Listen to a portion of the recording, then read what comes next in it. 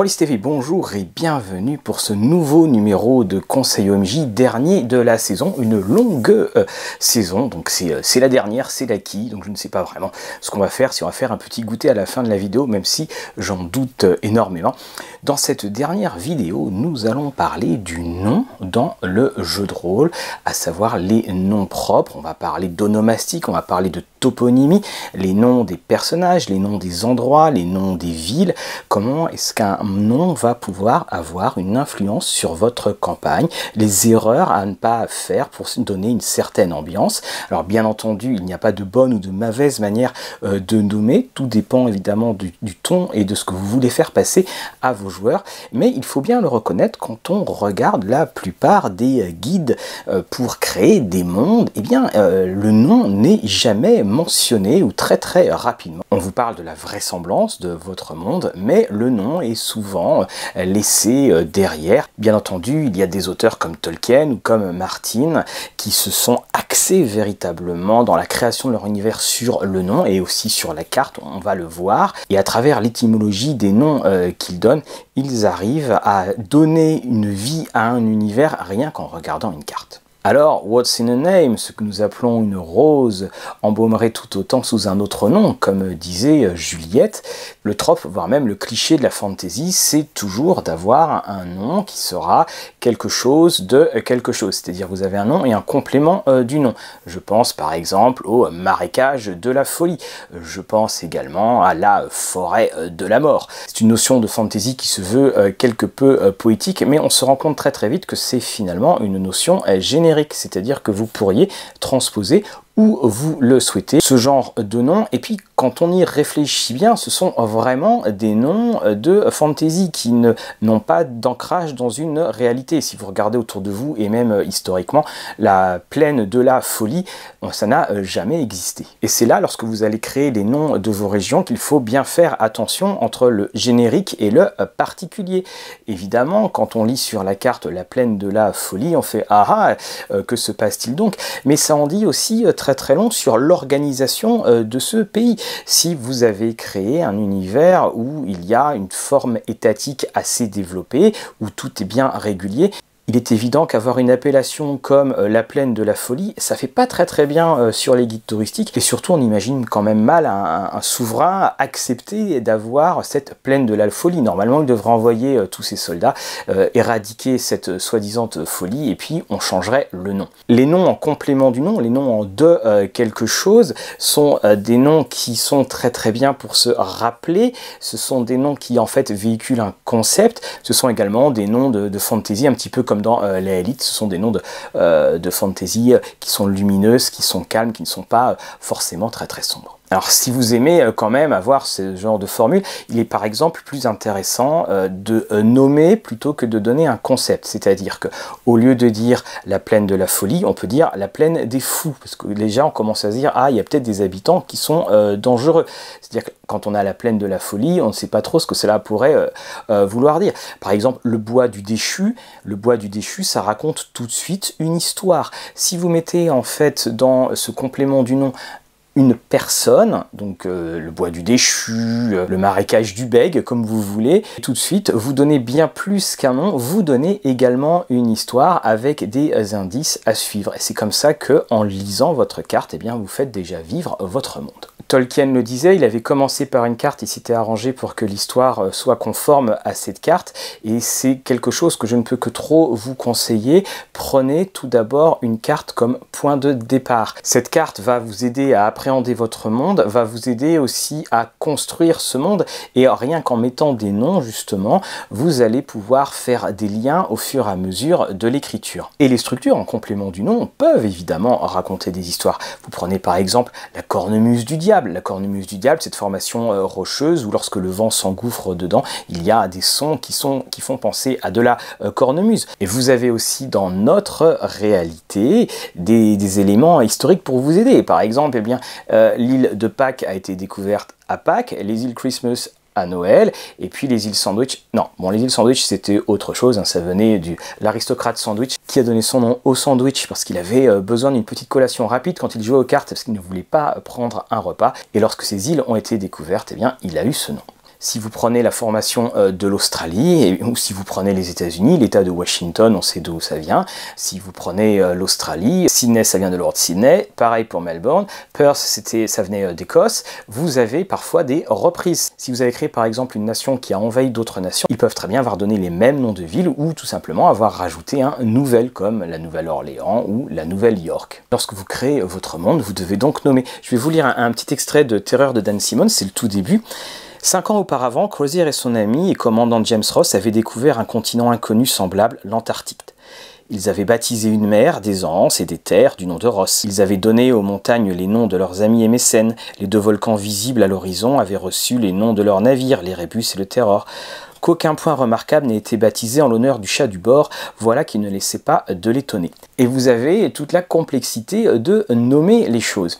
N'hésitez pas à nommer un lieu par un nom propre, parce que ça va aussi constituer l'histoire de euh, votre territoire, l'histoire euh, de votre pays, et vous avez toutes sortes de raisons pour euh, nommer un lieu d'un nom propre. Ça peut être un conquérant, ça peut être un mécène, ou ça peut être un héros de la ville par exemple. Alors le français n'a pas la, français n'a pas la souplesse que peut avoir la langue anglaise, mais n'hésitez pas non plus à varier les langues nom, ou tout du moins les consonances. Ainsi, au nord du pays, vous pouvez répéter euh, plusieurs affixes, Pareil pour le sud, ou, des styles de noms, des noms un peu plus courts ou des noms un peu plus longs, pour que régionalement on se rende compte qu'il y a bien une différence et que les noms ne sont pas choisis au hasard. Rien n'est pire dans le fait de nommer quelque chose que de sentir la présence du générateur de syllabes. Vous avez donc votre carte et observez-la et peut-être qu'en l'observant, vous allez pouvoir découvrir des formes et vous pouvez nommer à ce moment-là. En Westeros, vous avez les Five Fingers, vous avez les, cinq doigts, vous avez la côte rocheuse, la côte des naufragés. Ça, ce sont autant euh, d'indications qui vont, encore une fois, apporter euh, bien plus qu'une simple dénomination toponymique. Je reviens rapidement aussi euh, sur les différentes consonances ou les différentes sonorités. Si vous prenez le cas de la Normandie, la Normandie qui a été, bah justement, la Normandie, la terre des hommes du Nord, la Normandie qui a connu cette présence viking qui a disparu finalement très très rapidement, mais qui a laissé comme unique trace le nom des endroits. Ainsi, quand vous avez le suffixe to, ça signifie que c'est un ancien domaine agricole, par exemple je pense à Ifto, ou lorsque cela finit par bec, c'est la présence d'un ruisseau, je pense notamment par exemple à Bolbec. Autre chose, plus connue peut-être au niveau national, ce sont les baies qui donnent sur la mer. Ces baies en vieux norrois s'appelaient fleurs, Honfleur, Barfleur, que je peux que vous conseiller euh, de visiter, sont typiquement des exemples que vous pouvez reproduire dans la création de votre univers. Surtout qu'on sait que les jeux de fantasy aiment beaucoup avoir les anciennes civilisations euh, disparues. Là, vous avez un exemple euh, parfait. Prenez les mêmes sonorités qui reviennent, inventez euh, deux ou trois mots qui indiquent le rocher, le ruisseau ou la montagne, et à vous de moduler dans le monde que vous créez. Nous allons resserrer notre loupe maintenant. Après avoir vu les territoires, nous allons parler des villes, parce que les villes ne sont pas du tout à négliger, notamment les lieux dans les villes, parce que vous serez amené à les fréquenter assez régulièrement. Alors la première chose qu'il faut avoir dans votre ville, il faut quelque chose qui, frappe, hein. un nom qui soit pas forcément très long, mais en tout cas un nom euh, qui euh, sonne bien à l'oreille. Alors là, vous avez de multiples manières euh, de le faire, et, surtout pensez tout de suite à la manière dont on va appeler les habitants de cette ville. Waterdeep, qui était eau profonde, et est devenu maintenant les Water Daviens, ce qui n'est pas très très heureux, cette espèce de mélange un petit peu bâtard entre le français et l'anglais. Mais tout de suite, à vous d'y penser, et éventuellement, eh bien, pourquoi ne pas euh, modifier en donnant une explication. Euh, le nom logique, pas forcément justement euh, l'ajout d'un suffixe. Pour ce qui est des noms de taverne, il faut éviter de tomber dans ce que j'appelle le syndrome du poney fringant ou de l'anguille d'argent.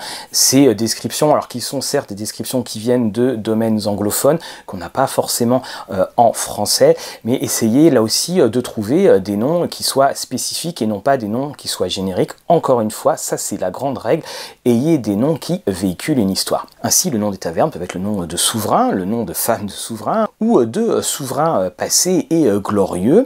Si vous prenez en Angleterre, en Angleterre, vous avez très régulièrement des pubs dont le nom est tout simplement Royal ou tout simplement King ou Queen. Et ces noms ont été choisis pour des raisons euh, pratiques. Si vous donnez à votre taverne le nom du souverain et que celui-ci meurt, et puis parfois ça pouvait mourir très très rapidement, vous étiez obligé de changer le nom de votre, votre établissement. Si vous, mettez, si vous mettiez roi ou reine, par exemple, la protection de la reine ou la protection du roi, là les changements étaient relativement minimes. Et en Angleterre, vous avez un, nom de pub, donc vous pouvez retransposer de taverne, qui s'appelle The Royal Oak, le chêne royal. Et ce nom est un des plus courants euh, donnés euh, en Angleterre, et ça c'est en rapport avec Charles II qui, euh, fuyant les armées de Cromwell, c'était, alors on dit déguisé en femme, mais c'était surtout réfugié dans un chêne et que personne ne l'avait trouvé. Et ainsi, le nom est arrivé. Vous voyez, vous pouvez toujours trouver des histoires derrière des noms, parce que le poney fringant, on imagine quand même mal un poney qui vient rentrer dans votre taverne, et c'est pareil pour l'anguille d'argent. Également, alors ça sera pour les noms des personnes dans votre ville, essayez d'avoir une certaine harmonie pour qu'on puisse deviner l'origine de ces personnes parce que chaque ville, même si ce sont des villes de passage, je pense euh, par exemple à la élite qui est ici, euh, chaque ville a de toute façon à un moment quand même un tronc commun de noms qui sont propres à la ville. Et c'est d'ailleurs un des petits reproches que je faisais déjà à la élite euh, à l'époque, c'est que les noms c'était un petit peu au, petit bonheur la chance justement et qu'on n'arrivait pas à déceler les vraies origines patronymiques et patronymiques et toponymiques de l'endroit. Il faut donc là aussi que vous créiez quelques noms euh, avec des racines communes que vous allez pouvoir décliner. Il n'y a pas besoin de faire quelque chose à la Tolkien, mais juste euh, deux ou trois petites syllabes récurrentes. Et là, vous avez votre petite senteur locale. Attention également aux noms d'endroits dans les villes que vous donnez si ces noms sont trop longs. Bah, je reprends la élite, euh, la terrasse de la main qui travaille, c'est un, mot un nom qui est très très euh, poétique, mais il est évident que les habitants de la ville ne vont pas dire je vais à la terrasse de la main qui travaille.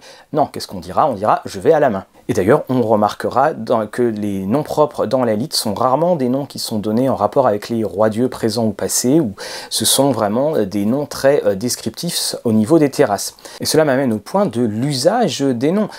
Vous avez la terrasse de la main qui travaille, on dira la terrasse de euh, la main. Alors je crois, hein, c'est moi qui, invente euh, cela, c'est dans ma vision de la élite à moi, comme on dira. Mais vous avez toujours le nom et vous avez l'usage de ce nom. Il y aura donc des endroits qui auront des surnoms ou des endroits qui auront des euh, diminutifs. On ne dira pas tout le temps je vais à l'anguille d'argent, on dira si vous connaissez bien, on va à l'anguille. Pensez bien à, ces mots et surtout si les joueurs n'ont pas pensé à ces nouveaux noms, faites que des PNJ les utilisent, ça va amener encore plus de réalisme à votre ville et votre ville sera encore plus vivante. Et encore une fois, tout dépend de l'ambiance que vous voulez euh, donner. Si vous avez créé quelque chose et vous voulez créer quelque chose avec énormément d'histoire, ou même tout simplement vous voulez donner l'illusion euh, qu'il y ait une histoire, donnez euh, des noms propres, nommez des places, nommez des quartiers, nommez des rues, bien entendu. Vous n'avez pas forcément besoin d'avoir pensé à ce qu'il y avait derrière, rien que le simple nom va transporter vos joueurs dans le passé hypothétique de euh, l'endroit. Et puis lorsque vous aurez besoin de creuser ce passé, eh bien vous pouvez tout simplement reprendre le nom de la rue, euh, le nom euh, de la place ou le nom du lieu et développer le fameux roi légendaire qui a pu donner son nom à cet endroit. Vous pouvez aussi, pour renforcer encore cette couche historique, donner des noms de rues qui ne correspondent plus du tout à ce qu'elles sont censées représenter. Par exemple, si c'est la rue aux marchands et qu'il n'y a que des toutes petites masures, ou tout simplement eh bien, euh, la rue aux pauvres ou la rue des mendiants, et là il y a euh, trois ou quatre grands palais. Que s'est-il passé entre le moment où on a donné le nom de cette rue et euh, le temps présent? Là c'est à vous de décider. C'est pour ça que les noms urbains sont très importants, qu'il ne faut pas les négliger, parce que lorsque vous avez affaire à, ces noms-là, lorsque vous jouez dans une ville, vous avez une unité de lieu qui est très très resserrée, et une ville, contrairement à un grand euh, territoire, est en constante évolution. Il y aura toujours quelque chose, des, pestes, il y aura toujours des incendies, il y aura toujours des transformations et différents euh, changements, et ce sont les noms qui vont vous permettre de véhiculer les différentes euh, couches historiques de votre cité. Ce sont euh, les noms qu'il faudra bien d'ailleurs répéter très régulièrement pour que les joueurs se les accaparent. Et encore une fois, je reviens dessus, hein, c'est un petit peu mon leitmotiv. Avec un nom, vous pouvez transmettre l'histoire de l'endroit que vous visitez. J'en arrive au nom patronymique et c'est là où quand même régulièrement on arrive dans les grands clichés de la fantasy. Et là je dis pas trop, hein, je dis bien un cliché, le fameux cliché du générateur aléatoire de syllabes. Lorsque vous regardez différents mondes ou différents cadres de campagne qui sont donnés à certains moments, on se rend compte du joyeux bazar. Les noms n'ont aucun point commun au niveau des racines. Vous avez des noms qui vont faire deux syllabes, d'autres qui vont en faire six. Vous allez avoir euh, des lignées de famille où vous avez des noms qui sont deux syllabes et soudainement vous avez un nom à rallonge, comme si Jed donnait naissance à Nabucodonosor. Et justement, cet écueil montre bien un manque de réflexion et le fait que oh, finalement euh, ce n'est qu'un nom, euh, cela va passer.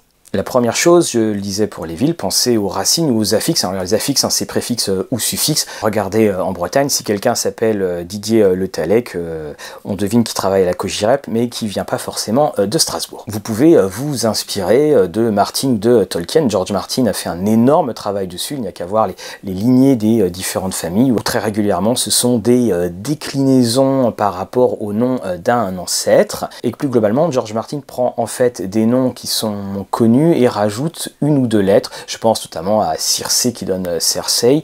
Euh, je pense euh, également à James qui donne Jamie. Vous pouvez modifier cela et cela vous permettra très rapidement de créer un nom et surtout ça permettra aux joueurs de s'en rappeler parce que là aussi, si c'est le générateur aléatoire de syllabes, vous allez voir vos joueurs qui vont écrire son nom puis la partie d'après ça va être le fameux. Il s'appelle comment déjà où il y aura les inversions de syllabes. Pensez aussi au prénom ou au nom. Alors là aussi, tout dépend de l'état d'avancement euh, de la société dans laquelle euh, vous jouez. Les noms de famille sont finalement apparus à partir du moment où il y avait trop de personnes et que les prénoms ne suffisaient plus à différencier. Et puis vous avez aussi bien entendu les surnoms et un surnom, eh bien tout comme euh, je le disais pour les endroits, va pouvoir véhiculer énormément. Euh, quelqu'un peut s'appeler euh, Goliath et peut justement être soit un géant, soit quelqu'un de toute, toute euh, petite taille. C'est à vous de jouer comme vous le souhaitez. Le nom est de toute façon très souvent le premier contact que vous avez avec un PNJ pensez aussi avoir des variations euh, très claires. Moi, je me rappelle d'une campagne où il y avait un personnage qui s'appelait Wojciech et un personnage qui s'appelait Wojciech, ce qui fait que très tard le soir, on avait peut-être parfois tendance euh, à les confondre. Et aussi, n'hésitez pas, hein, vous, inventez un nom de PNJ ou vous trouvez un nom de PNJ à la volée, et puis bien vous vous rendez compte que euh, finalement le nom colle pas trop. N'hésitez pas à dire bon ben voilà, je vais rebaptiser ce PNJ. Ou alors parfois, vous vous rendez compte que vous avez créé un nom de PNJ et lorsque vous euh, l'employez, eh bien naturellement vous commencez à modifier son nom pour une sonorité euh, qui sera euh, bien plus efficace. Eh bien là aussi, hein, prenez ce que l'usage va vous donner, ça va être beaucoup plus simple copier également les noms qui existent dans notre monde avec, je pense notamment au préfixe pour les fils de, que ce soit Ben, que ce soit Mac, cela va donner là aussi cette couleur locale et ce réalisme et ça va aussi vous permettre de créer certains régionalismes. N'oubliez pas, les noms là aussi varient en fonction des différents endroits où vous vous trouvez dans votre univers. Si vous jouez dans des mondes contemporains, notamment avec des mondes anglophones, alors généralement vous pouvez aller, je vous mettrai un lien sur, surtout si dans l'historique, vous tapez sur internet euh, la liste des noms masculins ou féminins les plus connus de telle ou telle époque, et puis allez chercher euh, euh, tout en bas, évitez plusieurs choses comme trouver des noms très simples à la Smith, c'est quelque chose qui est relativement bateau et donc vous pouvez faire mieux comme on dit. Ne prenez pas des noms qui soient trop connus, par exemple ne créez pas un Michael Jordan parce que évidemment tout de suite on va penser aux joueurs de basket. Et vous pouvez alors plonger justement dans les différentes ligues sportives. Vous prenez tout simplement une équipe de football américain parce que c'est quand même 53 joueurs donc c'est plutôt pas mal. Vous imprimez tout simplement eh bien l'effectif, vous l'avez à côté et vous avez une mine de, euh, de PNJ qui sont euh, masculins. Pour ce qui va être du féminin, vous allez sur euh, les sites de fédérations sportives anglophones et là, vous avez là aussi vos prénoms féminins. N'oubliez pas non plus qu'un nom peut avoir quelque chose de hautement symbolique. Si quelqu'un s'appelle Blackfire ou si quelqu'un s'appelle John Hope, tout de suite, il y a là encore un message qui est donné. Là aussi, vous pouvez prendre le contre-pied, mais généralement, s'il y a un prénom comme je pense John Hope, un, prénom euh, très euh, symbolique. Il doit représenter euh, quelque chose et ça va vous permettre de créer tout un imaginaire autour de ce nom. Également, lorsque vous présentez pour la première fois des euh, personnages, là encore, hein, je parle dans un niveau anglophone, vous pouvez faire la méthode Stanley. La méthode Stanley, c'était euh, Bruce Banner, Peter Parker, Red Richards ou encore Matt Murdock, c'est-à-dire que vous avez les mêmes initiales, cela crée un rythme dans la prononciation et ça permet de le mémoriser bien plus vite. Enfin, pour ce qui est des noms américains, vous avez aussi des noms en fonction des ethnies.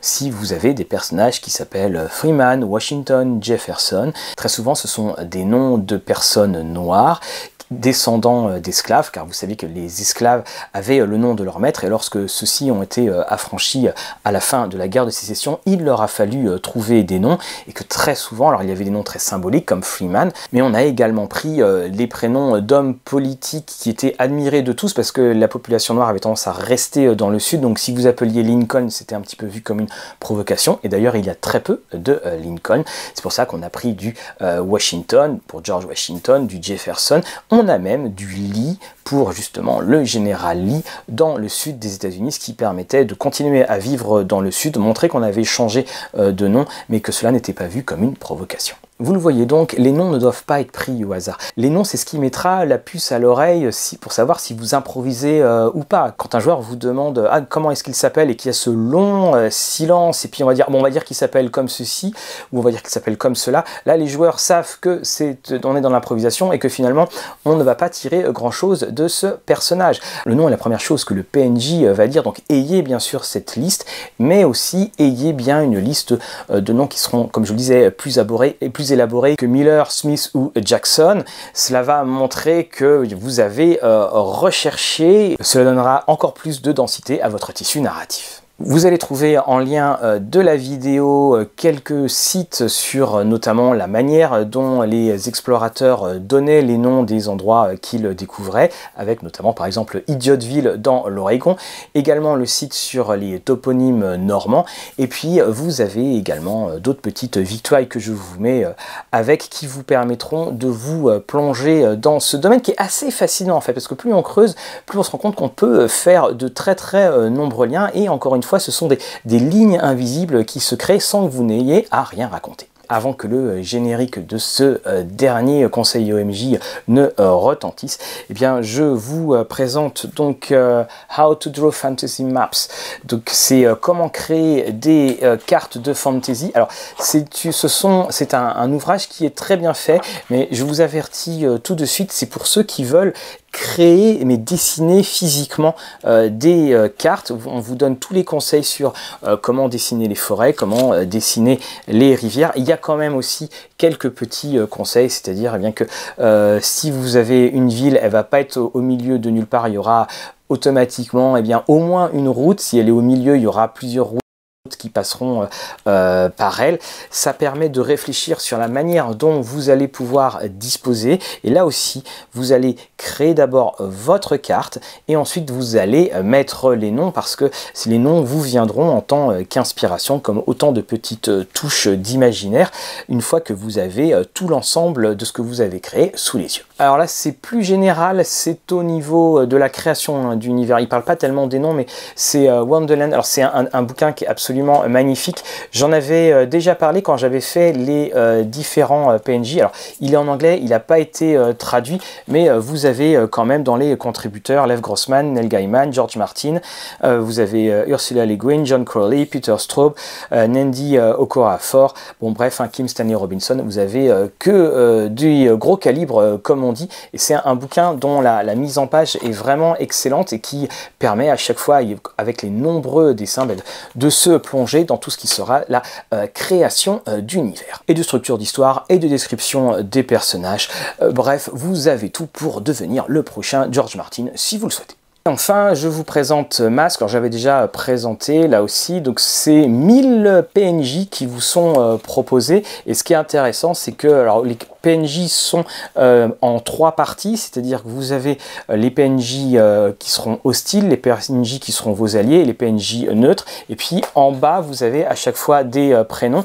Et c'est là aussi où on se rend compte à quel point le prénom véhicule des idées préconçues que vous pouvez confirmer ou infirmer. Voilà donc, ainsi s'achève cette petite euh, émission. Alors évidemment, c'est que effleurer un très très vaste et euh, très passionnant euh, sujet. N'hésitez pas dans les commentaires à nous mettre vos différentes méthodes. N'hésitez pas non plus à nous raconter les différentes anecdotes sur les noms que vous avez pu avoir, à savoir, je ne sais pas, soit le nom de quelqu'un qui était très connu. Moi pour ma part, c'était ce que je faisais, je prenais des photographes de mode à l'époque où ils n'étaient pas très connus. Je pense notamment à Santé de Radio. Et quand certains de mes joueurs avaient trouvé le nom au bas d'un L, ils étaient euh, tout étonnés de voir que ce représentant du sabbat finalement avait un côté euh, assez euh, glamour. Donc n'hésitez pas à nous partager tout cela. En attendant, eh bien, je vous dis pour les conseils OMJ au mois de septembre. Encore une superbe saison passée en votre compagnie. On va aller un petit peu se reposer. Et n'oubliez pas non plus de partager, de liker, de tiper. Un grand, grand merci à nos tipeurs. Et en attendant de nous revoir, que vos parties soient belles.